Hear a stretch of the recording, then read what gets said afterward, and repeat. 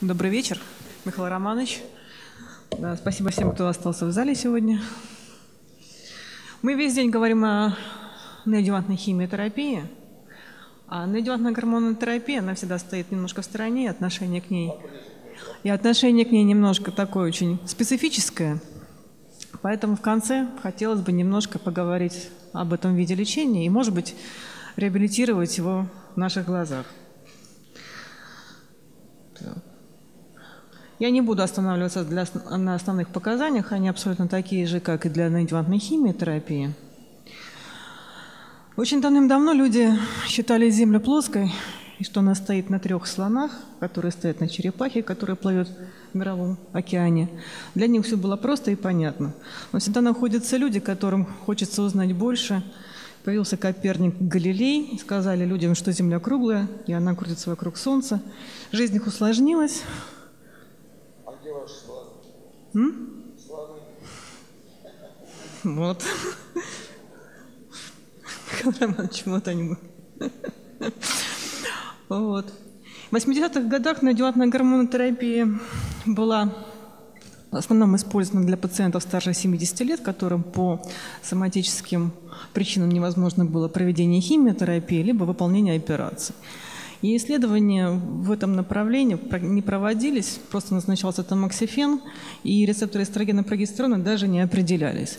И все равно при э, ретроспективном анализе получалось, что тамоксифен в сравнении с хирургическим лечением э, не проигрывал в общей выживаемости. Единственное, что время для прогрессирования и местного рецидива у больных, которые получили оперативное лечение, было все-таки больше, чем у пациентов, которые оставались без хирургического лечения. Было еще несколько исследований, в которых тамоксифен сопровождал, лечение тамоксифена потом сопровождалось хирургическим лечением. И здесь были получены точно такие же результаты. В 90-е годы в нашей практике появляются ингибиторы ароматаза, и встает вопрос, а что лучше в неодевантной гормонотерапии у этих пациентов? Тамоксифен или ингибитор ароматазы? Нам известно три крупных международных исследования, в которых сравнивались ингибиторы ароматаза, ну и, естественно, наша. П024 сравнивает литерозол с тамоксифеном, получает преимущество ингибитора ароматазы в оценке выполнения органосохраняющих операций и достоверные различия в общем ответе на лечение. Исследование «Импакт» сравнивает анастрозол, тамоксифен и комбинацию этих препаратов в надежде на то, что комбинированная гормонотерапия будет более эффективна. В результате не получают э, различия в общем ответе, однако группа с анастрозолом по выполнению органосохраняющих операций опять-таки больше. Исследование ПРОКТ. Тот же анастрозол и тамоксифен и те же результаты.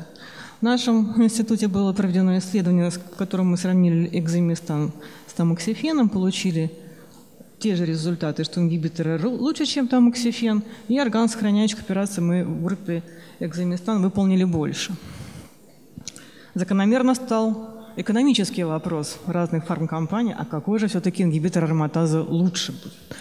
И было проведено исследование, в котором были сравнены три нам известных ингибитора ароматазы, которые не показали какого-то преимуще преимущества достижения клинического ответа или в органосохраняющем лечении.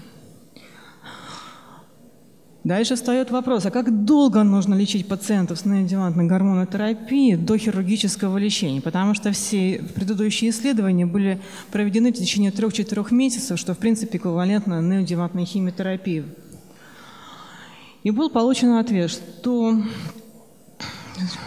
на 182 пациентов Майклом Диксоном, что 70% пациентов достигает клинического ответа через 3 месяца лечения. Но при этом про продление лечения более трех месяцев, эта цифра возрастает до 83,5. Также увеличивается, увеличивается количество органосохраняющих операций – и отмечается, что уменьшение объема опухоли наблюдается на протяжении всего лечения, начиная от трех и заканчивая 12 или двумя годами даже. Было еще исследование Роберта Карпортона, который тоже на 146 больных показал, что э, медиана времени, которое позволяет выполнить наибольшее количество органосохраняющих операций, было где-то 7,5 в месяц. В нашем исследовании, которое мы проводили, мы проводили его 4 месяца, получалось, что уменьшение объема опухоли наступает где-то на третий, на третий месяц, и что позволяло выполнить органосохраняющую операцию. При этом видно, что с третьего по четвертый месяц э, уменьшение объема опухоли тоже продолжается, но не так выражено. Было проведено исследование на небольшом количестве пациентов, которые получали анастразол 6 месяцев. На этой диаграмме тоже видно, что у нас максимальное уменьшение опухоли происходит где-то к 4 месяцам, а дальше такая более пологая кривая, но опять-таки эффект лечения сохраняется. Как уже говорилось, полный патоморфологический регресс является маркером для неодимантной химиотерапии – который обуславливает лучшую безрецидивную и общую выживаемость. Статус рецепторов эстрогенов также является предиктовым фактором для эффективности химиотерапии.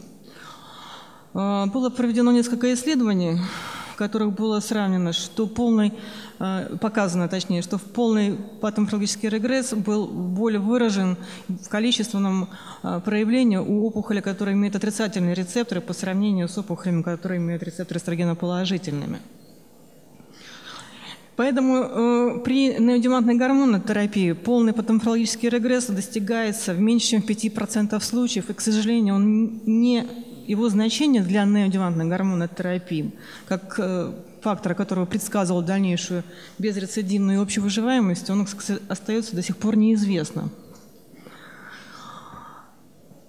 Было проведено рандомизированное исследование, где сравнили неодимантную гормонотерапию с неодимантной химиотерапией. Оно было на небольшом количестве пациентов, и туда попали женщины, которые были в пренопаузе, при менопаузе, и у этих э, пациенток добавлялось газерилин для блокирования функции яичников. Как бы основным э, Резюме этого исследования было, что не наблюдалось в подгруппе постменопаузальных женщин разницы в общем ответе в группе сравнения неодевантной химиотерапии и гормонотерапии. Мы тоже решили посмотреть, а будет ли разница. И в нашем институте было проведено исследование сравнения э, у постменопаузальных женщин с эстрогеноположительными опухолями экземестана и четырех циклов химиотерапии по схеме АЦ. И как вы видите, сопоставление клиническо-маммографических ответов было равнозначно в этих двух группах. Органосохраняющее лечение, как ни странно, в группе гормонотерапии было больше, чем химиотерапии. Точно так же мы не получили особой разницы в безрецидивной выживаемости в группе химиотерапии, гормонотерапии у этих пациентов. И также не было различий между э, сравнением органосохраняющего лечения и мастектомией. С учетом того, что полный патоморфологический регресс не является маркером для неодевантной гормонотерапии, а, хотелось бы все-таки выделить какую-то биологический маркер, которые могут предсказать эффективность проводимого лечения или его неэффективность. Поэтому в исследовании Impact и P024 был исследован индекс пролиферации КИШ-67. Брали трипан-биопсию на второй 12 неделе на диатной гормонотерапии и выяснили, что а, в группе ингибиторов ароматаза этот индекс снижался чаще, чем при э, приеме тамоксифена – и эти различия были достоверны. Такие же результаты дальше были получены и в адъювантном исследовании атак. В результате был сделан вывод, что изменение КИШ-67 на второй неделе лечения является более точным прогностическим маркером, чем уровень КИШ-67 на безлайне. И в исследовании импакт была высокая экспрессия маркера на второй неделе – она была коррелировалась достоверно с, с худшей безрецидивной выживаемостью. Нам всем хочется и э, определить группу пациентов, которым не нужно проводить адъювантную химиотерапию. И э, в исследованиях неодювантной гормонотерапии этот вопрос стоит тоже. Кому же из пациентов после того, как мы проведем неодювантную гормонотерапию и выполним хирургическое лечение, нужно добавить э, адъювантную химиотерапию? Поэтому на основании этих предыдущих двух исследований был определен такой э, индекс ПЭПИ, в который входит рецептор эстрогена прогестерона HER2, клинико-морфологические маркеры опухоли, размер узла остаточного, количество пораженных лимфоузлов, степень злокачественности, возраст пациента. Этот эм, Модель прогностическая была сравнена потом с онкотайпом в исследовании транса так на 1120 пациентов и показала свою информативность и споспоимость. Поэтому делается вывод, что пациенты со стадией Т1 и 0 с индексом ПЭПИ 0,1 не подлежат лечению э, в адювантном режиме химиотерапии. Им можно просто назначить гормонотерапию в адюванте на, как мы сейчас считаем, 5-10 лет. И получается, что индекс 0 имеет низкий рецидив, а индекс 4, соответственно, высокий рецидив, и эта группа пациентов подлежит адювантной химиотерапии. В результате этого появилось вот такое новое исследование, результатов которых мы пока еще не знаем, но будем очень ждать. Это продолжение того исследования, когда сравнивали три ингибитора ароматазы, но здесь на второй неделе выполняется а, биопсия, определяется КИ-67. Если он больше 10%, то эта группа уходит в группу химиотерапии с последующим хирургическим лечением. Если же индекс КИ-67 снижается меньше, чем на 10, меньше 10%, то дальше пациенту выполняется хирургическое лечение и определяется индекс ПЭПИ. Если он составляет 0, то эти пациенты не получают соответствующие леч... Э, химиотерапии, а только гормонотерапии. Если он больше нуля, то там будет адъювантная химиотерапия. Исследование интересное, будем ждать его результатов. И наше будущее. Мы теперь на сегодняшний день знаем, что Земля круглая, мы можем посмотреть на нее с космоса. Наши космические корабли летят на Марс.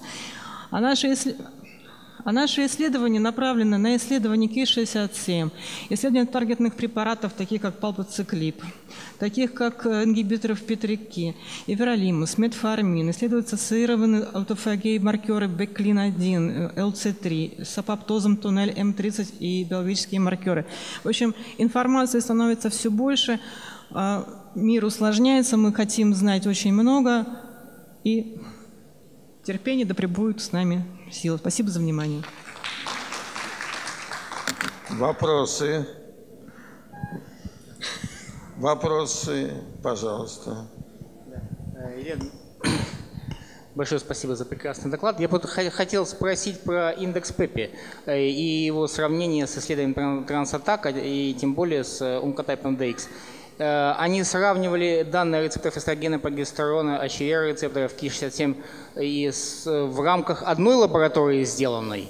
То, то, то есть я к чему веду? То есть э, вот то, что Ченг э, с Перу, это в рамках одной лаборатории. Э, это вот исследование индекс ПЭПИ, это тоже в рамках одной лаборатории? Или несколько лабораторий участвовали и сравнивали с несколькими лабораториями? Руслан Маркович, насколько я понимаю, это был индекс, который был выработан в исследовании P024 и подтвержден импакт. У них, по-моему, были разные лаборатории. Надо посмотреть. Мне кажется, что такая точность может дать только одна лаборатория. И э, для того, чтобы экстраполировать данные одной лаборатории на всех больных, надо иметь точные доказательства того, что, так сказать, это работает и в других лабораториях. Я полностью согласна, но нужно э, еще как бы отметить, что в принципе все исследования по неодевантной гормонотерапии являются немногочисленными, в отличие от химиотерапии. И э, количество пациентов в каждом исследовании 300-400 пациентов. Здесь э, сложно говорить, э, так скажем, да, что можно этот индекс э, распространить на всех. Он предназначен в первую очередь именно для оценки неодювантной гормонотерапии и выделения той группы пациентов, после нее которой не нужно проводить химиотерапию, а которой нужно проводить химиотерапию. Он предназначен только вот для этой группы пациентов. Ну, понятно, потому что они не могли провести перспективное исследование, они это сравнили с ретроспективным и со шкалой значения рецидива по онкотайпу? Ну ладно, онкотайп – это замечательно. Вы, когда присядете, вы объясните до конца. А я далеко от вас. У меня вопросы. Скажите, вот сегодня нас убеждали, что полная морфологическая ремиссия – это очень важно. Это все забыто. Полная морфологическая ремиссия должна существовать. Эндокринотерапия в лучшем варианте – как часто дает полный морфологический ответ? Не больше 5% случаев, Михаил Сколько? Романович. Не больше пяти. 60? Пяти. А, пяти. Ну, это правда. А, Скажите, пожалуйста, еще у меня был вопрос. У кого есть еще вопросы? Вот у меня есть консультация. Есть женщина, 48 лет, сохраненный менструальный цикл, положительные рецепторы. И решили выключить полноватые, что бывает иногда, выключить функции яичников золодексом. А золодекс 5 месяцев колет золодекс, он не действует. Золодекс хороший. Первая идея была, что золодекс фальсифицирован. Но нет. В анамнезе у мамы поздняя э, менопауза, 55 лет. Ну что вы делали бы в таком случае? Ну, кроме авариэктомии, которая мне не нравится.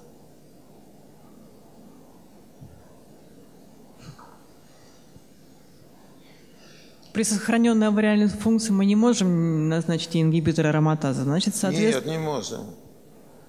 у, нас остается, можно. у нас остается только тамоксифен. Но у нее э, флебо- э, тромбофлебит. Ну, думайте, думайте. И последний мой вопрос. Зачем вы мальчика показали на слайде? А, я так понимаю, что на сегодняшней сессии «Звездные войны» очень популярны у отечественных мамологов. Это мой любимый персонаж. Мальчик, который держит шарик. Спасибо большое. Спасибо. Ладно.